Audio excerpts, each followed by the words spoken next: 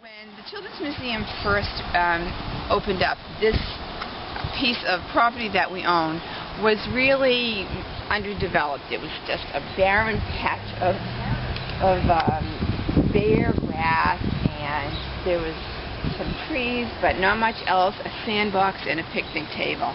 It really was not very appealing at all. It didn't have much to offer to families, so at a certain point we decided that we would love to develop it further, and we were we applied for and we got a federal matching grant and then we of course had to raise more additional money to match that but um, we had some funding in place so that we could develop this and our vision was to really just do a, a nice safe um, developmentally appropriate um, space for kids and families to explore nature to feel connected to nature um, to learn about how to take care of plants um, and you know our butterfly friends.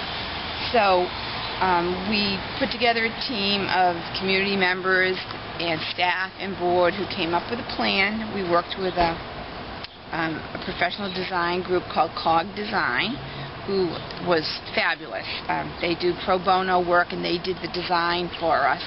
And two years ago we opened this, it's called the Wild Place. When we started the garden, this portion, the butterfly garden, was only half the size. But this season we decided we really needed to expand it because it was so popular and it was we needed more space to do what we, we really wanted to do.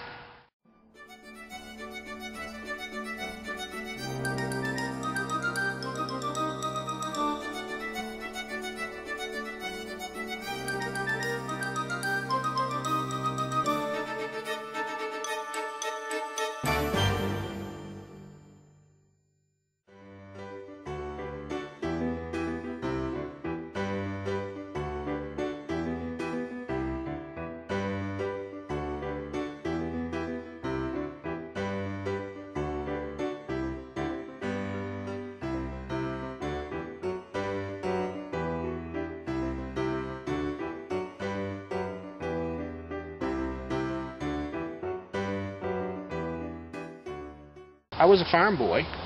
Well, I was a farm boy when I was young enough so I didn't have to work in the farm. Uh, we moved down here when I was six. I was born in Vermont.